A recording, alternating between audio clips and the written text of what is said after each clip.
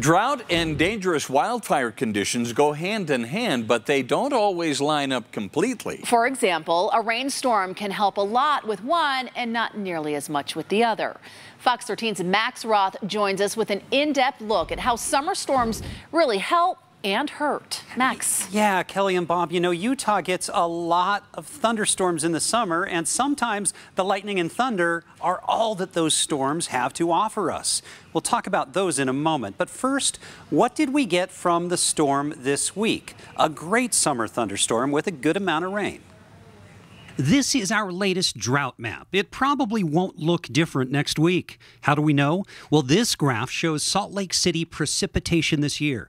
This little blip was from the latest storm. This bigger blip was May 23rd. A good amount of rain in Salt Lake, but here was the drought map the week before that rainstorm and the week after. The drought got worse. Still, rain is good. Shelby Law will tell you she's a meteorologist helping coordinate wildfire response in the Great Basin region. We don't we don't make great strides in improving the drought during the summertime months usually, but if we don't get any precipitation during the summer, then our drought will get worse. And some places in Utah saw a lot more rain than Salt Lake City, but it won't dent the drought.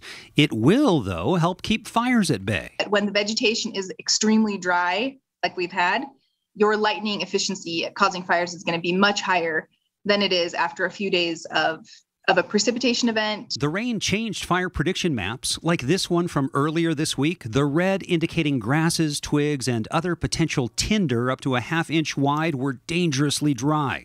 But here's the map after the rain. It's not good tinder for now. Now to medium fuels, one to three inch wide kindling before the rain and after. Another big change, but the big branches and logs before and after, most of the big firewood is still primed. So a wet storm helps, but Utah gets lots of dry lightning. This map from earlier this week is meant to show the likelihood of lightning starting a fire. But the map after the rain, the rain washed away some of those red dots, but they'll pop back quickly. What we can do? Continue to decrease our human start, starts as much as we can because we can't control the natural starts, and we will be seeing more of them in the next coming weeks and months. We took an in-depth look at those fire fuels earlier this week and what their conditions this year say about the danger from fire, whether it's started by Mother Nature or by something like a stray bottle rocket.